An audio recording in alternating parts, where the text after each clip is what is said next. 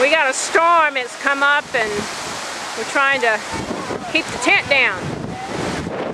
So we got everyone holding on to it. That's why you see everybody here. This is live at Lake Norman. Hold on to it, it's blowing it so hard again. Need to hold it. Hey, We're getting free doing.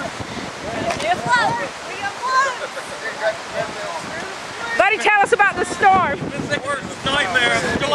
2011.